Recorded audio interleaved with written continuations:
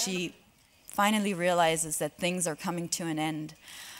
And, and every scene that I was in was completely different. Like there was never a, a line you know you could relate to. So it was very extreme in emotions. Um, you know the way Benoit um, saw her, she's borderline crazy a little bit, you know. So it was it was a challenging, definitely one of the most challenging parts I've had. Le film euh, tourne littéralement autour de ça. Les The film's really about that issue, the ending of regimes. And I have to say that personally I'm a fan of the end of regimes. Euh, so this, it was exciting for me, in every sense. pouvait être pour moi que passionnant à tous égards. Et je vous pose la question comme